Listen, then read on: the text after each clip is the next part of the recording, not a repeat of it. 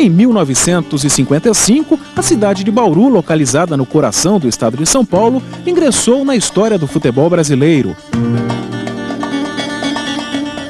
Foi naquele município, localizado a 345 quilômetros da capital, que um garoto nascido na mineira Três Corações partiu para a conquista do mundo.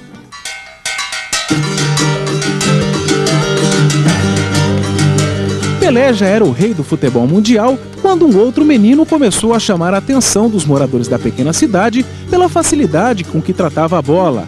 Esse herdeiro prodígio também se destacava pela habilidade em comum. Pequeno Tonho, alvo das preocupações do seu Arthur e de Dona Rosa, era também o terror dos moleques desajeitados que tentavam em vão conter seu talento.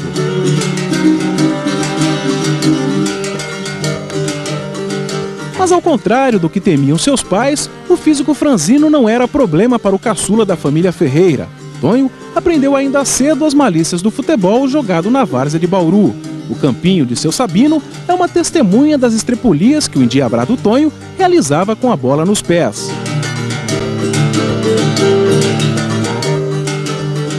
Ele era esperto, a beça. Eu, como jogava na defesa, para marcar esse moleque, era difícil. A gente trabalhou junto numa oficina, oficina mecânica, né? E, e inclusive jogava, eh, trabalhava eu, o Toninho e o Tezinho, que era o lateral esquerdo do Paulistinha, que foi o sucessor do Caçula, né? E, e a gente brincava, tinha, era uma descontração total. Trabalhava na oficina do alemão, que era o dono do time, e depois do, do, do, da, da, do trabalho a gente ia treinar. E o Toninho, já com 14 anos, já despontava como um jogador extraordinário pela idade dele. Uh, o, o, time do Paulista era bom, mas ele se destacava. Destacava, sempre foi artilheiro, sempre a gente tinha aquela total confiança que já entrava em campo sabendo que, que Toninho ia fazer, não sabia quanto, mas que ele fazia, fazia. Naquela época tinha muito caminhão, tanque e estrada tudo de terra. Então quebrava muito o molejo do, dos caminhões. E eu, Toninho e o Tezinho, nosso trabalho era desapertar os grampos do molejo do caminhão. E o Toninho sonhava com bola. Ele só estava pensando na hora de sair dali para ir treinar. E sempre na hora de desapertar a porca, ele apertava em vez de desapertar. A gente falava, Toninho, o negócio seu é bola, viu? Caminhão acho que não, não dá, não.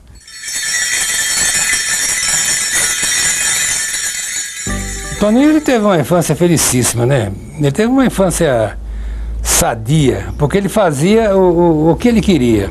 Primeiro, escola, se você não segurasse um pouco, então ele não gostava de ir na escola. Então ele não, não, não, Se eu não me engano, nem sei se ele tirou o diploma do, do, do, do primário, né? Agora, o problema dele era a bola.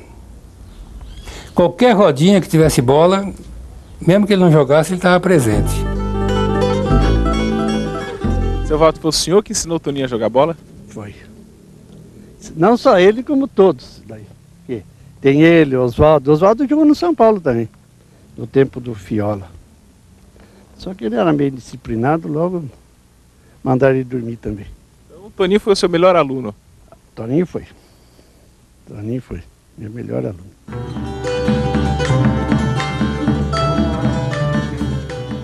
Fora dos campos, o mais novo entre os nove filhos de seu Arthur não tinha a mesma descontração. O espírito introvertido, típico dos garotos caipiras da época, era uma espécie de marca pessoal. Ele era tímido, não só na, na, na parte né, profissional, da atividade, né, que ele foi abençoado, não tirou aquele bom proveito que devia, né? Prática de futebol. Mas ele era tímido para qualquer coisa. Para comer, para sentar numa mesa e tomar uma refeição, para namorar. Eu até achei estranho, né? Uma atitude dessa dele começar a namorar, coisa que ele não fazia, que ele tinha vergonha de conversar com, com mulher, né? E depois começou a namorar e deu fogo. No quarto batalhão de caçadores, até eu tentei um contato com o Canova. Canova filho, porque o Canova pai era o capitão na época do quarto batalhão de caçadores e o Canova filho, Alexandre, era garoto com ele e participava da, da, da, dos jogos de futebol de salão dentro do quarto batalhão, né? E o Tonho entrava, tinha um acesso na, na, na, na... Então o Tonho nem parava em casa. Se ele queria se esconder dele, ficasse em casa. Ah, você sabe que isso aí é uma lembrança gostosa. Era gostoso jogar no, quarto, no campo do quartel lá. E no Morumbi também. Principalmente quando Palmeiras, Corinthians, campo cheio.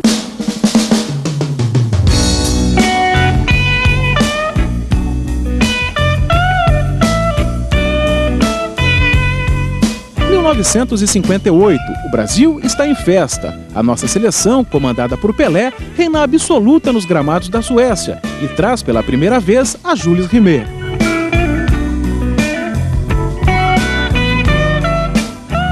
Enquanto a torcida brasileira comemorava, a distante Bauru, no interior de São Paulo, assistiu o surgimento de um novo fenômeno, o Tonho do bate-bola sem compromisso das ruas de Vila Monlevá dava lugar ao meia-direita Toninho e tinha no Noroeste a oportunidade de provar que o futebol não era para ele apenas uma alegre diversão.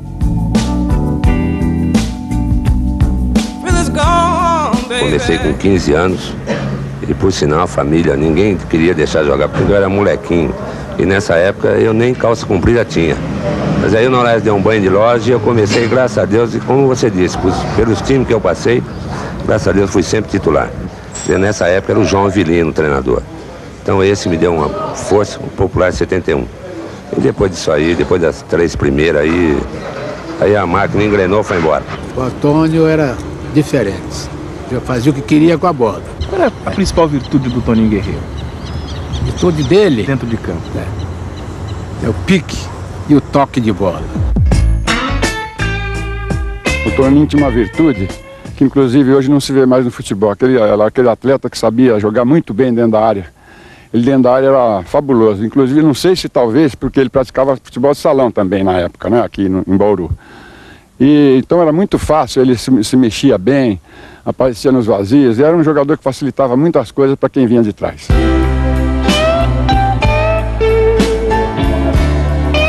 Ele já mostrava, ele sempre mostrou um excelente futebol, mas naquele tempo dificilmente um garoto tinha oportunidade.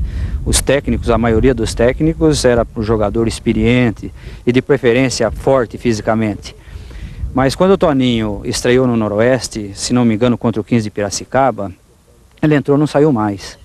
Ele fez uh, uma série de amistosos, inclusive com a gente participando, é, em Taubaté contra o Corinthians é, e uma série de jogos. E depois nunca mais saiu, saindo daqui para o Santos e para o Estrelato. Quando eu cheguei aqui, que eu vim da Portuguesa de Esportes, e logo no início uh, nós fomos apresentados a eles e, tinham cinco jogadores de Bauru, inclusive tem uma passagem muito boa nesse sentido, né? Que tinha um treinador, não vou citar o nome, né? Ele é conhecidíssimo. E ele, dos cinco jogadores de Bauru, ele falou para mim que o único que não ia dar nada era o Toninho Guerreiro, né?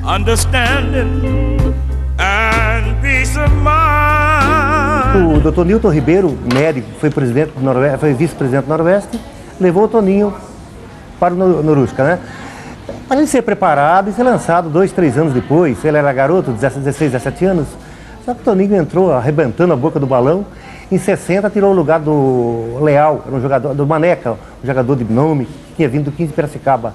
Aí ele acabou sendo artilheiro do campeonato do Noroeste, do Campeonato Paulista de 60. Foi a melhor colocação que o Noroeste já obteve, quarto lugar, ficou na frente do São Paulo. São Paulo estava interessado em construir o Morumbi, então parece que foi o Santos campeão, Palmeiras vice, Corinthians e Portuguesa, o Noroeste foi em quarto e o Toninho. Entrando é, quase na metade, do, do, do, do, quase no fim do primeiro turno, ainda assim foi o artilheiro do Noroeste. Em pouco tempo, o futebol de Toninho ficou grande demais para o Noroeste. Todos os jogos do Noroeste eu comparecia no, no, no estádio para ver o, o, meu clube do coração jogar, enfrentando os grandes times, né? Na época, a lei do acesso não tinha essa divisão É, o Noroeste estava na divisão especial, então vinha o Santos jogar em Bauru, vinha o Corinthians, o Palmeiras, e a gente estava presente em todos esses jogos. E, e via a presença do, do, do, Toninho, que ele despontava entre todos os craques do Noroeste, como sendo assim, vamos dizer assim, não vamos fazer uma, uma comparação, mas o Pelé branco, né? Era, era para mim era o Toninho como centroavante do Noroeste. E eu tinha esperança que um dia até ele pudesse jogar no meu time do coração em São Paulo, que era o Corinthians. Né?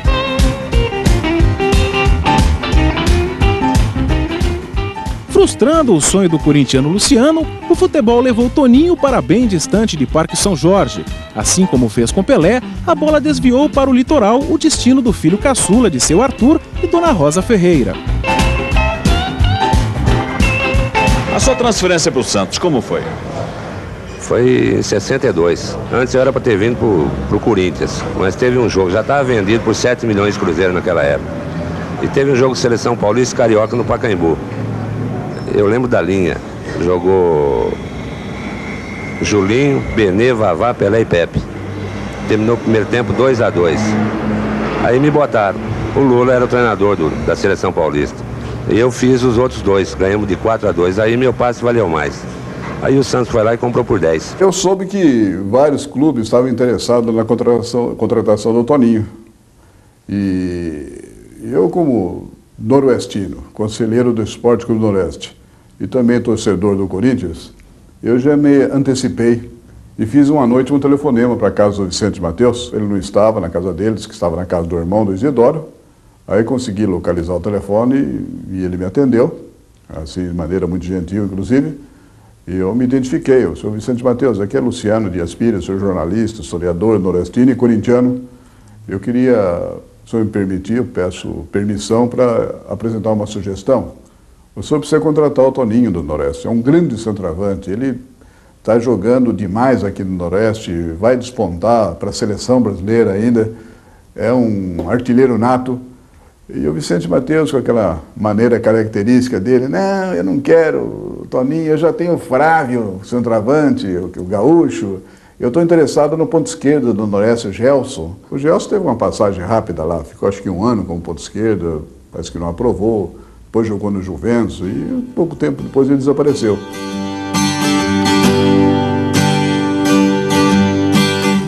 Se dependesse dos moradores de Bauru, o dia 1 de agosto deveria ser reverenciado como data especial.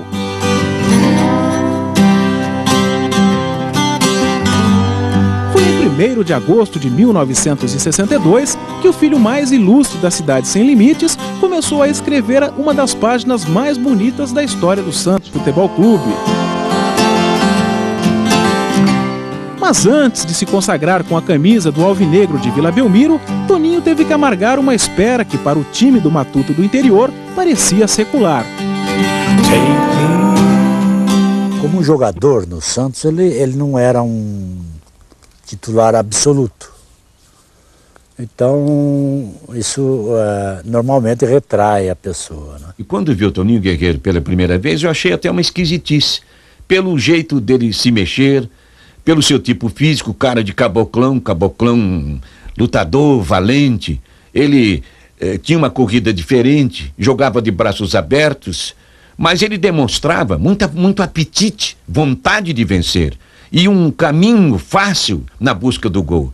Facilidade para encontrar esse caminho, facilidade para fazer gols. E ele nunca se importou com a fama do Pelé, com a grandeza técnica do time do Santos. Ele sempre mostrava o seu jogo. Por esta razão, ele fez tanto sucesso e principalmente por ser um caboclão de verdade, um valente de verdade, também com alma imensa e com muita sensibilidade e vontade de vencer na busca do seu grande objetivo, ele fez tanto sucesso jogando pelo Santos.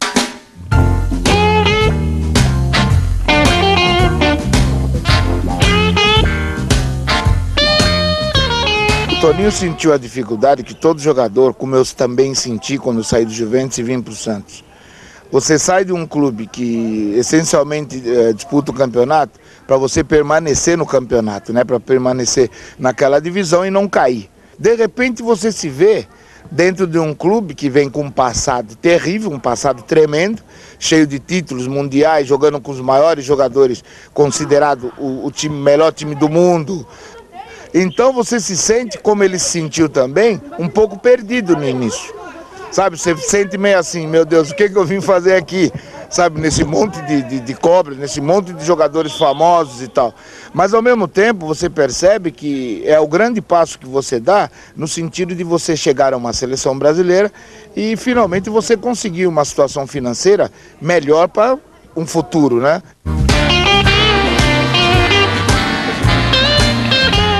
O Toninho ficou deslumbrado de jogar do time do Pelé, né? era o maior time do mundo na época, né? Eu perguntaria para você, o Pelé é realmente um homem intocável, assim? Ele é realmente uma figura acima da condição humana, como ele é vendido, como é a imagem dele? Eu não tenho nada para dizer contra ele. Para mim ele foi sempre meu amigo, desde Bauru de moleque. Depois eu fui para o Santos, enfrentei uma barra que não foi brincadeira, tinha Coutinho, Pagão e Almir. Agora o Negrão foi sempre gente fina.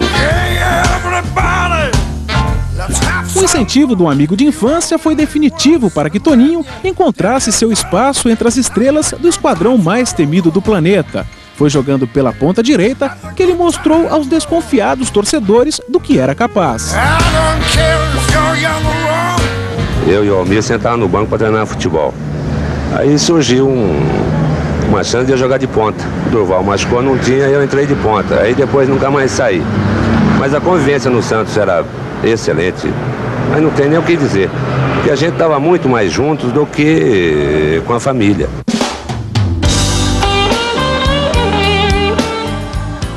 Quando ele veio, ele era matador centroavante, só que ele era matador no Santos ponta direita.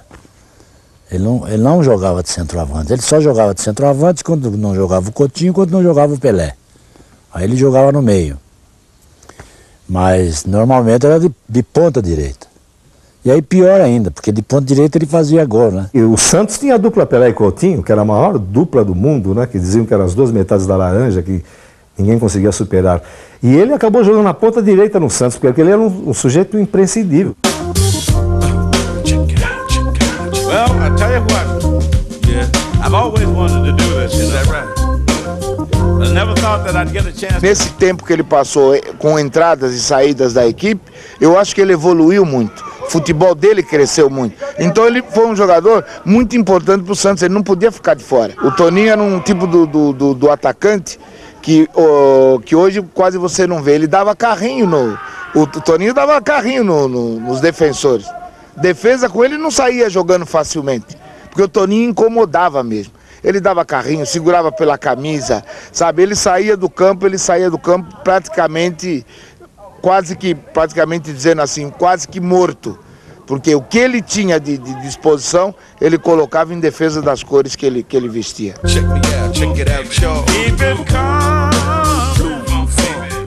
O Toninho veio modificar um pouco a maneira de, de, do, do Santos jogar, porque ele era um atacante essencialmente matador, né?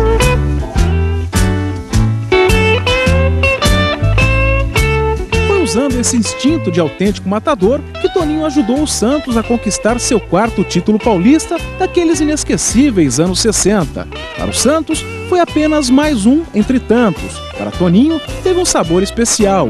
Foi o primeiro de uma série que estava apenas começando. Say, baby, no matter what you do.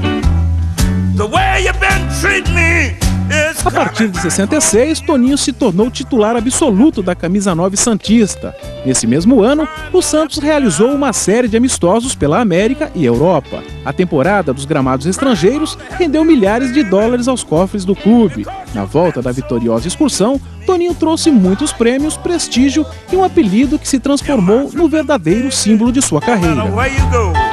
Watch the seat just gotta because you're gonna reap that's what you sow. Eu não sei quem depois deu esse apelido para ele de guerreiro, mas com 14 anos eu posso testemunhar que ele era realmente um guerreiro. Toninho era aquela volúpia, né? Aquela vontade de vencer e conseguiu realmente vencer. É uma batalha muito grande, ele é, né, o instinto de, de, de goleador, né? Sempre fazendo muitos gols. E a bola passava perto da área, realmente ele, ele, ele faturava, ele fazia mesmo. Sabia o que queria, né? O que ele queria era o gol. Você lembra quem deu esse apelido para ele? Talvez o Pepe, sei. Pepe gostava de apelidar, né? Não me lembro quem foi, não. Mas foi bem, bem colocado. Eu tenho a impressão que quem colocou esse filho nele fui eu. Porque ele era, realmente era um guerreiro. Então nós estávamos jogando aí pela excursão, pelo México, Guatemala, o Santos não parava de viajar.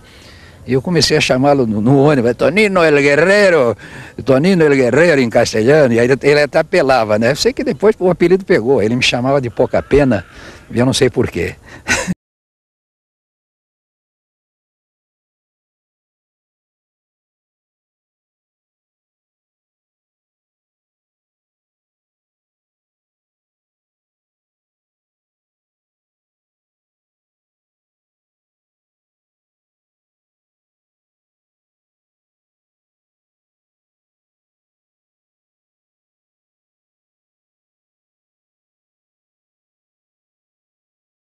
fiz bastante. Mais que o César? Dá, dá Menos. mais.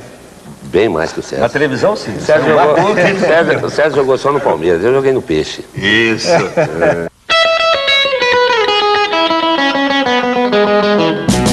Ele ficou sete anos no Santos. Em 66 e 68 ele fez mais gols que o Pelé.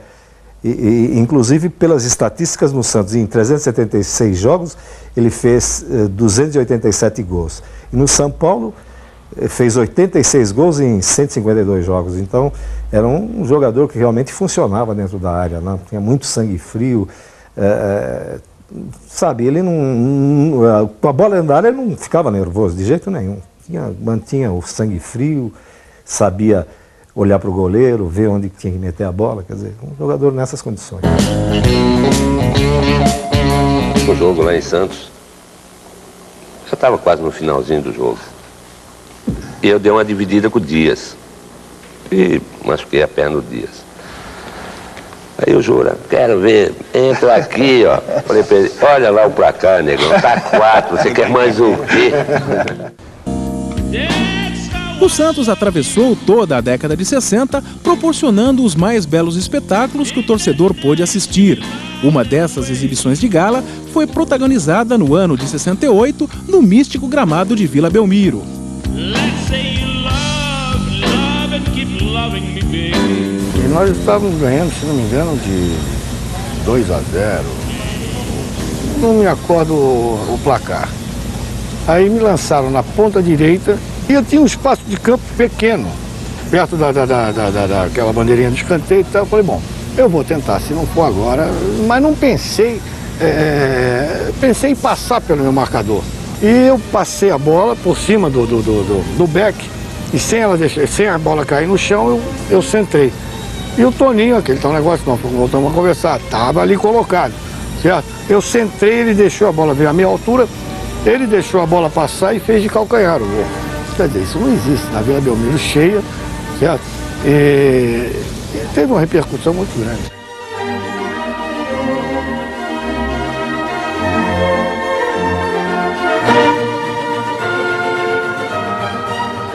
Pra mim foi a coisa mais linda que eu já vi. E até hoje todo mundo fala no gol do Caneco, mas na verdade o gol não foi do Caneco, o gol foi do Toninho.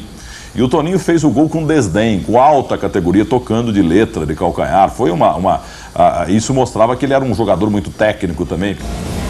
Era daquele centroavante que você gosta de centrar para ele e você sabe que ele, ele fazia o gol, meu. Chamava mesmo. Chamava o gol, meu. Perdia.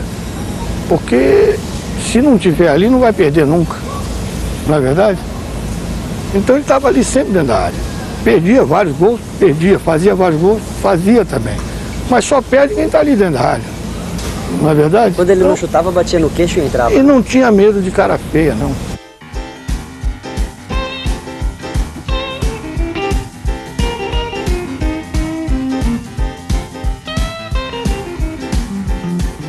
As apresentações de Toninho com a camisa Santista impressionaram a todos, mas em 69 elas conquistaram um admirador especial.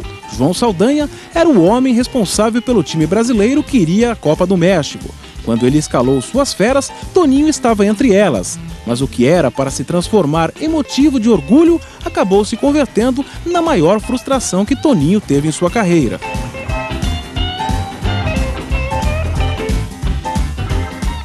Toninho, mas nós falamos no início que você foi um homem injustiçado em termos de seleção brasileira. Você realmente foi injustiçado? A sua época você merecia uma camisa amarela, que não lhe deram essa camisa amarela. Por quê?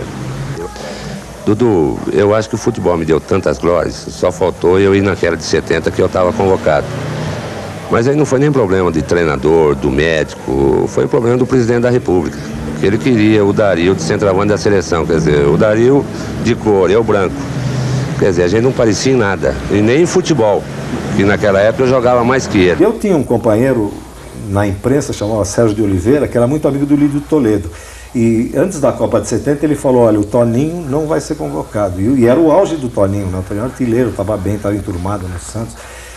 E eu falei, por quê? Ele falou, porque ele tem sinusite e, e a Copa vai ser no México, tem problema de altitude, então o Lídio vai cortá-lo. E olha, ele me falou isso, eu, eu trabalhava na, na, no, na Gazeta e dei esse furo acho que com uns três meses de antecedência. E realmente chegou na, na, época da convocação, ele não foi convocado, inclusive ficou magoadíssimo, a grande mágoa da vida dele foi essa, quer dizer, ele jamais aceitou essa justificativa do médico, né? Porque apesar ele tinha início de sinusite, era uma coisa que dava para tocar fácil. Mas é aquele problema político também, porque foi por causa do Dario que ele foi cortado? Não, o Dario foi bem depois, né? Porque acontece o seguinte, os melhores times do Brasil na oportunidade eram o Santos e o Botafogo, né? E, e, se o, e ele já teve aquele problema, quer dizer, ele já quebrava a dupla Pelé e Coutinho, tinha que jogar na ponta. Né? Então, também tinha os jogadores do Flamengo que tinham que eh, do, do Botafogo que tinham ir para a seleção, né? Então, foi isso que aconteceu, quer dizer, politicamente ele acabou sendo marginalizado, né? E foi uma injustiça porque realmente ele era um grande jogador, um grande artilheiro.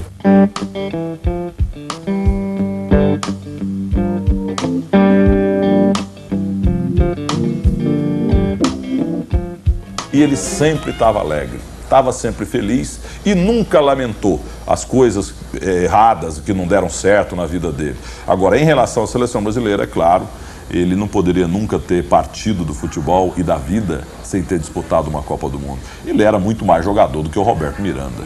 Eu acho que com sinusito e tudo ele tinha que ter ido na Copa de 70, né? Porque foram convocados outros jogadores eh, de boa qualidade, mas o Toninho era melhor pela fase. O Toninho estava fazendo gol de tudo quanto era jeito, sabe? Então essa foi uma grande frustração dele não ter podido participar da Copa de 70. Você lembra como isso mexeu com a cabeça do Toninho na época? Não, mexeu. Ele andou pelo menos uns 4 a 5 meses cabisbaixo e influiu, até, influenciou até na, na, sua produção depois no, no, Santos. Mas depois retomou o seu lugar normal e, e voltou a jogar bem. Mas foi um, um baque que ele teve, porque ele contava pelos gols que ele fazia, ele era artilheiro nato e seguramente iria brilhar na seleção. Então ele ficou muito triste.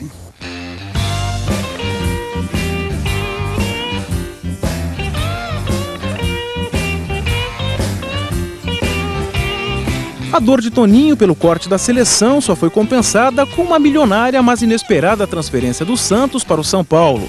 O tricolor, que durante a construção do Morumbi amargou um jejum de 13 anos sem títulos, queria voltar ao topo do futebol paulista. No final de 69, os cofres são paulinos se abriram para patrocinar uma série de grandes contratações que transformariam o São Paulo no Santos dos anos 70.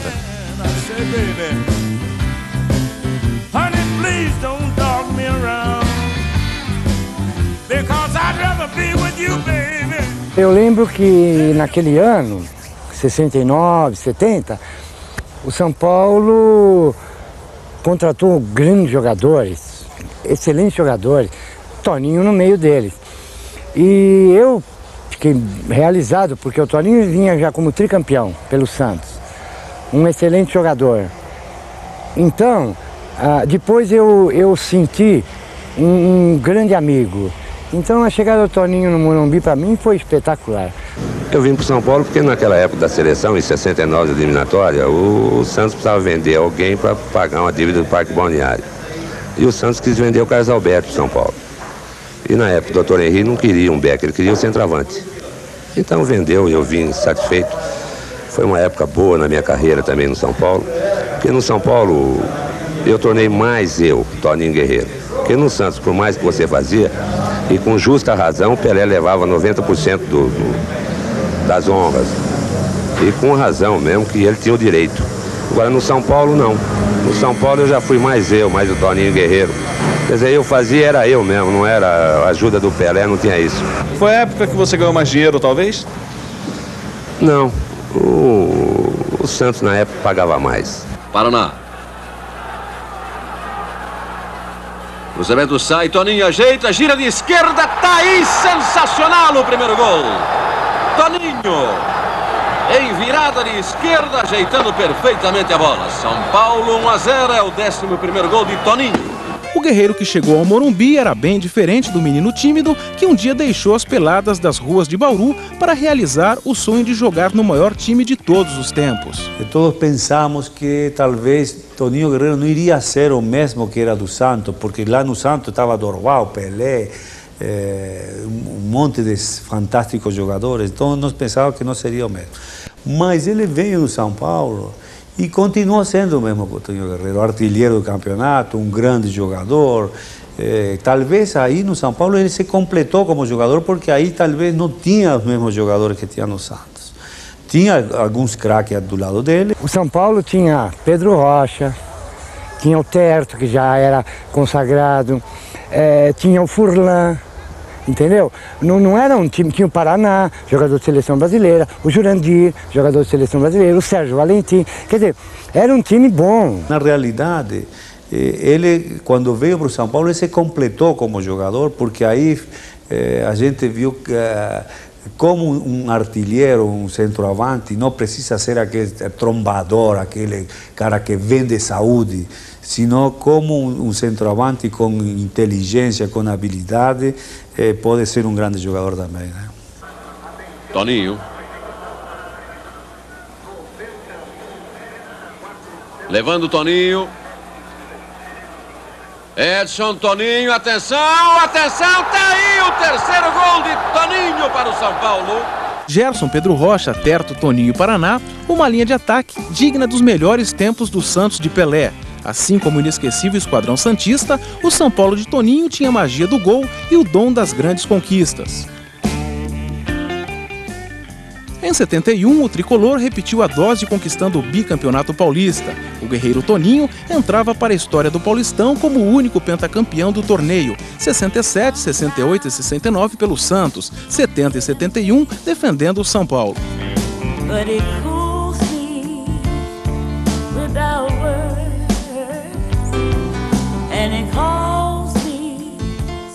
Você tem uma coisa que o Pelé não tem, né? Você é pentacampeão paulista, né? Três vezes no lugar e dois no outro. Né? Três no Santos e dois em São Paulo, de 67 a 71. Eu acho que aqui em São Paulo ninguém tem. É, é penta que a gente fala é direto, é ano após ano. E você é sempre artilheiro, né? Sempre artilheiro. Eu dei muita sorte, Dudu. Eu sempre peguei time bom para jogar. Zé Carlos, Paulo. Edson Toninho, boa bola, atenção, tá aí o segundo gol. Toninho, São Paulo 2 a 0 no Morumbi, diante do Guarani de Campinas.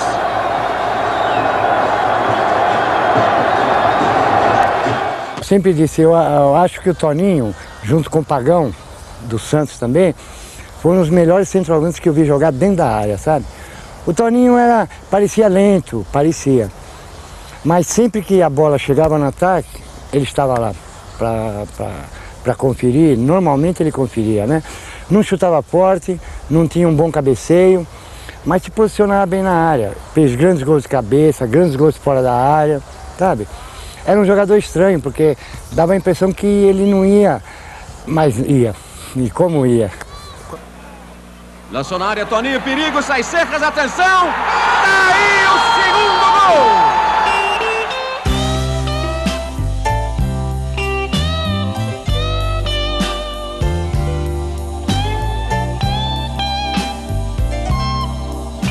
Na época a gente recebia quatro, cinco ingressos, cada atleta, né? Para dar para a família, tal, aquele negócio todo. Ele de repente aparecia com 20, 30, eu não sei como ele conseguia, né? E, e era, isso aconteceu um jogo, meia hora antes do jogo, eu já no vestiário ele falou, vem aqui comigo, tá? Aí me trouxe aqui para fora para levar um, um, jogar lá de cima para um amigo dele os convites, pro amigo dele entrar, sabe? Ele, ele colocava em cordinha, ele mandava o ingresso lá para baixo, porque não dava para ir na portaria, né? Muita gente. Então ele ficava geralmente no, no segundo andar, primeiro andar, e com uma cordinha ele jogava. E os amigos dele lá de baixo pegavam os ingressos. Isso meia hora antes do jogo, sabe? Well, Toninho Guerreiro já havia conquistado o coração dos torcedores do São Paulo quando sua vida pessoal começou a entrar em crise. Os dissabores acabaram comprometendo suas atuações dentro de campo. O alegre guerreiro deu lugar a um Toninho amargurado que pouco a pouco foi perdendo o apetite voraz que tinha pelo gol. Virou um personagem da noite e se aliou a um parceiro devastador, o álcool. O casamento com a Doroti, em muitos casos, na verdade, o casamento acaba até favorecendo. Mas a família entende que o casamento com a Doroti foi o que desestruturou o Toninho na carreira, inclusive? Ô, Bramont, se, se foi ela que, né, que provocou esse problema, não sei, mas que foi o casamento, foi. Depois de um, de um período de casamento, ele começou a exagerar na, na, na bebida e no cigarro, né? O Toninho teve duas fases, né? Foi a, foi a fase dele como um profissional, um profissional consciente daquilo que ele estava fazendo, dedicado, responsável, pai de família e tal. O que eu vi do Toninho em São Paulo eu já não gostei, porque quem conviveu muito tempo com ele sabe do que eu estou dizendo. Ele não estava legal, não estava bem, uh, digo, de, de, de cabeça sabe? Ele não estava bem, bem centrado naquilo que ele queria. Nós chegamos a fazer uma série de jogos, jogamos bem uns dois anos no Milionário de São Paulo e a gente se encontrava, conversava muito. Ele que já não era muito de falar, nessa época então ele ficou muito mais para dentro. Você não conseguia tirar nada com ele e muito menos ajudá-lo.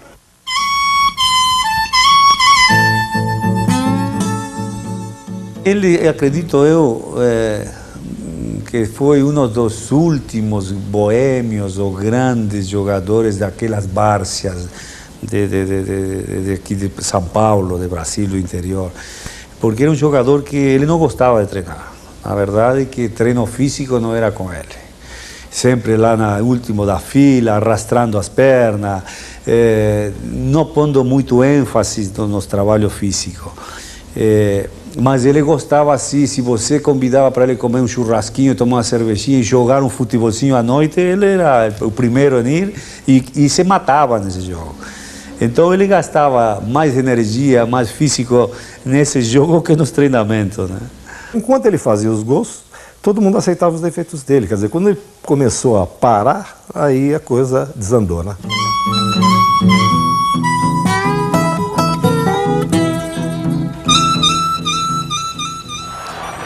De setembro de 1972, Toninho Guerreiro pisa no gramado do Pacaembu para disputar sua última decisão de um campeonato paulista. Naquele ano, o 0 a 0 deu o título ao Palmeiras. A Toninho Guerreiro restou apenas um único consolo: ter balançado as redes 17 vezes e ter terminado a competição mais uma vez como artilheiro.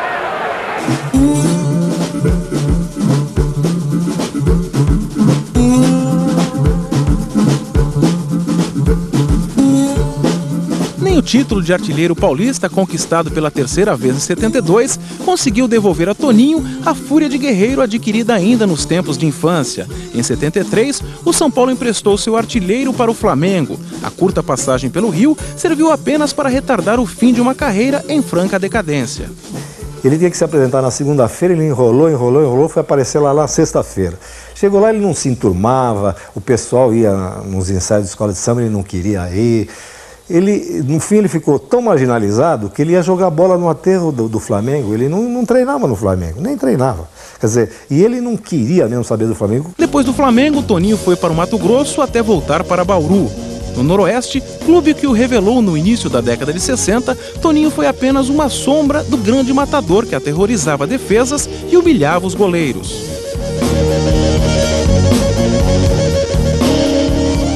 Ele não se arrependia de nada, disse que estava estava mais ou menos bem de vida, né? E, e deu para guardar e, e, aplicar em coisas, né? Então, Toninho, é, bom vivan. comendo bem, amigo dos amigos dele, e, mas não estava ligando muito para a carreira já não, né?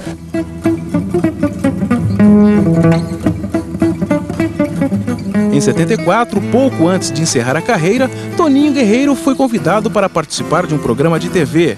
Lá conheceu a jornalista Agnes Roberta, com quem viveu durante 15 anos. Pessoalmente, eu conheci o Toninho em 1974, quando ele jogava showball. Eu fui a Record e me pediram para substituir uma apresentadora e tinha que fazer uma entrevista com o Toninho. E adorei bater papo com ele, ficamos lá, fizemos uma entrevista assim, o dia, a tarde toda, né? Era um programa desses femininos que fica tarde. E daí eu costumo dizer que eu passei o resto da vida dele entrevistando, né? Porque tinha sempre, ô, oh, e aí, onde é que você foi? O que, que você estava fazendo? Então eu continuei entrevistando Toninho de 74 até 90, quando ele morreu. Ele já tinha parado de jogar mas ele contava muito quando ele foi jogar no é, Mato Grosso, ele foi para o operário, né? Então ele contava as histórias que as moças passavam e telefonavam e saía, passava no, no, no, no depois do treino. Então ele era danado, ele, ele pulava a cerca mesmo bonito.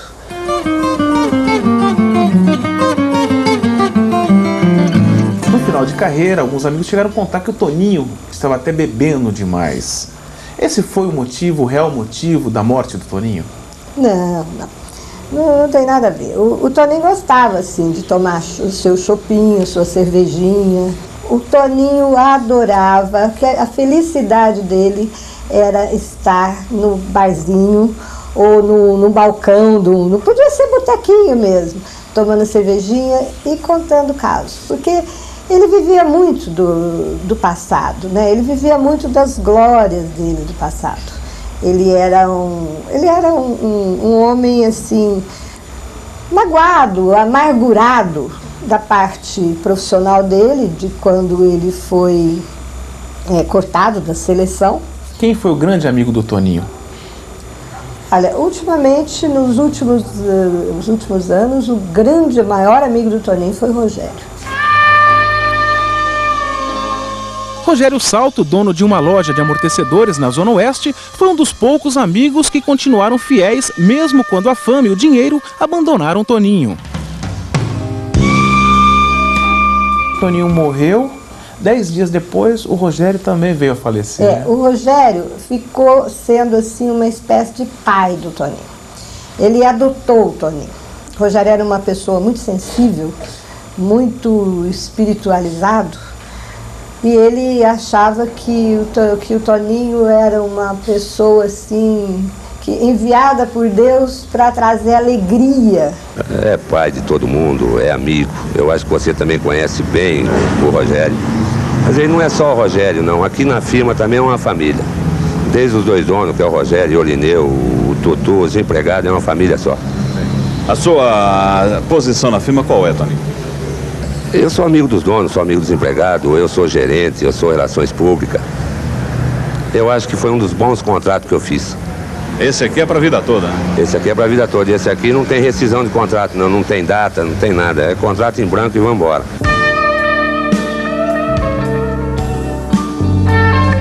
No dia 26 de janeiro de 1990, o coração valente de Toninho parou de bater. O guerreiro perdia sua última e decisiva batalha.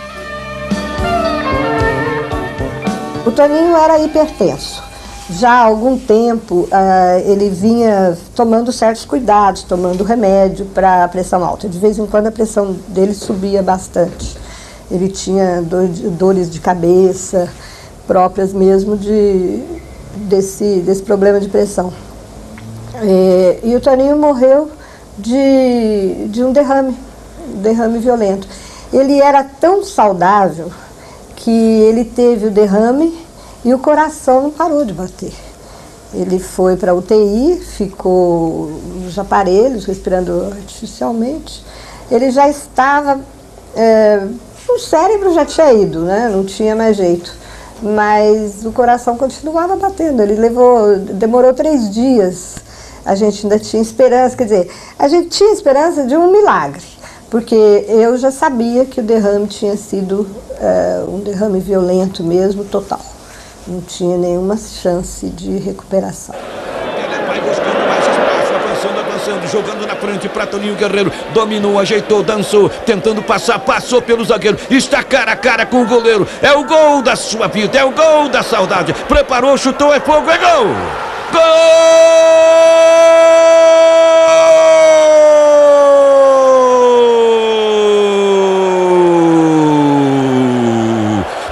Toninho Guerreiro, torcida brasileira. Fecham-se as cortinas e termina o espetáculo.